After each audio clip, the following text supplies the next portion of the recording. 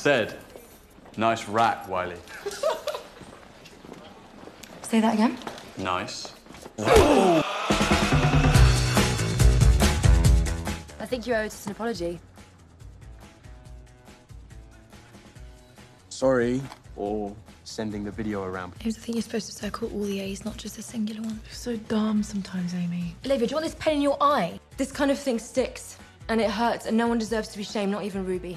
A few years ago, some boys were catcalling me. This woman told me it was my fault because my shorts were too revealing. So I went home and I cut them even shorter. Because fuck them. I think she may have told people. What doesn't kill you makes you stronger. Uh, Kelly Clarkson, poet. Nietzsche. That might be fun. Hot tubs aren't really my thing. What is your thing then? Complex female characters. And have you considered the possibility of adoption? Don't think anyone will want a pregnant 17 year old. Wiley, you're barred from campus. Okay, please hear me out. I know you don't think so, but I deserve a second chance at this school. The things said about my family are true, and I messed up, but I don't want to be like them.